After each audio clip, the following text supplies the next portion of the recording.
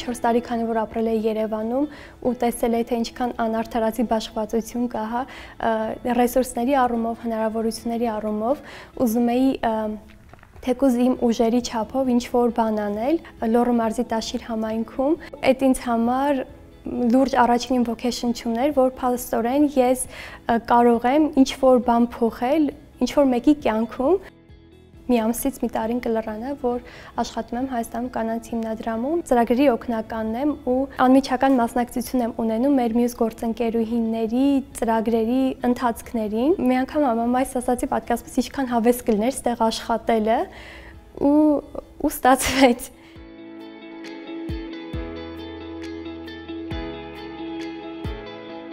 Մենք ունենք էմոցիաների անկյուն,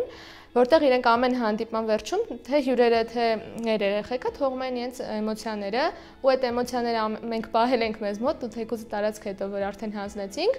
դրանից հետո ամեն անգամ կարդալուց ոգեշնչվում ենք ու մենք հասկանում ենք, որ մեր աշխատանքը ապարդյուն չի անցել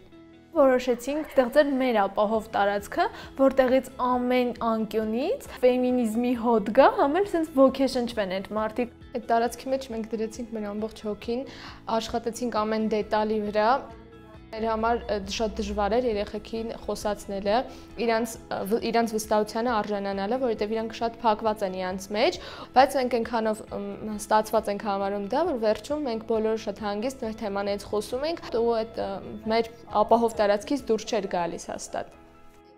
ամեն մի նամակ, որ մենք ստանում էինք ու այդ սկսվում էր սիրելի գործընկերուհիներ բառակապակցությամբ, մենք շատ էինք այն որ sense այդ օրվա ընթացքում դու անտրամադիր լինես, ինչ որ բան այն չլինի, մեկը դու չգիտես էլ այդ նամակը ինչ ասում, բայց այդ գրվածքով, որ դու կարդում ես, որ ինչ որ մեկը քեզ համարում է իր գործընկերուհին 16 տարեկանում դեռահաս շրջանում դու արդեն սենց մտածում ես որ դու լիքը բաների ես հասել այս կյանքում որ քեզ գործընկերուհի են համարում այդ շատ-շատ մեծ սենց աջակցություն է որ իրանք նպաստում են նրան որ մեր երազանքները իրականանան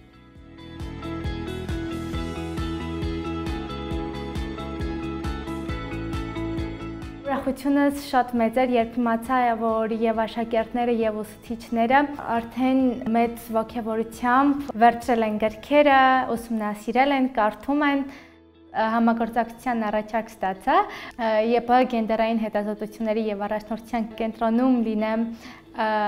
եւ մի շարք ծրագրեր իրականացնենք միասին բնականաբար չմերժեցի Այստեղ ես աշխատում եմ որպես ծրագրերի օգնական, քանի որ ես տարվա մեծ մասը անցկացնում եմ Երևանում եւ շատ քիչ ժամանակ եմ ունենում համայնք այցելելու եւ շփվելու մեր գյուղի երիտասարդների հետ, փորձում եմ ամեն կերպ պահել կապը, այնպես անել, որ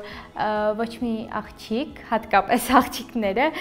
զարթ չմնան ինչ որ հնարավորություններից, որպեսզի հետագայում լինեն լավ մասնագետներ եւ լինեն կայացած կանայք ու լինեն անկախ։ Դրա համար փորձում եմ անել այդ ամենը եւ ինձ թվում է փոքրինչ ստացվում է, բայց ամեն դեպքում շարունակելու ենք եւ ավելի մեծ աշխատանքներ ենք տանելու։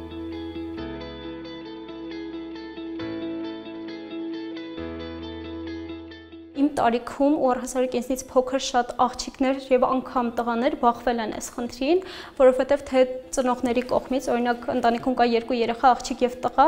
տղան ինչ որ բանի իրավունքներ ունի, իսկ աղջիկը նույն բանի իրավունքները չունի մեր մոտ տարբեր տարիքի մարդիկ են գալու 15 տարեկանից սկսված մինչև 19 հույս ունեմ գիտելիքները նրանց կօգնեն որ նրանք այլևս չբախվեն այդ խնդրին կարողանան պայքարել Սա ոչ միայն կանանց խնդիրն է, այլ նաև տղամարդկանց նույնպես։ Նրանք նույնպես պետք է ներառվեն այս աշխատանքների մեջ, որpիսի հետագայում նաև ստեղծվի զարգանա ավելի առողջ հասարակություն դեռահասության ընթացքում շատ է զգացողությունը, անինքնավստահությունը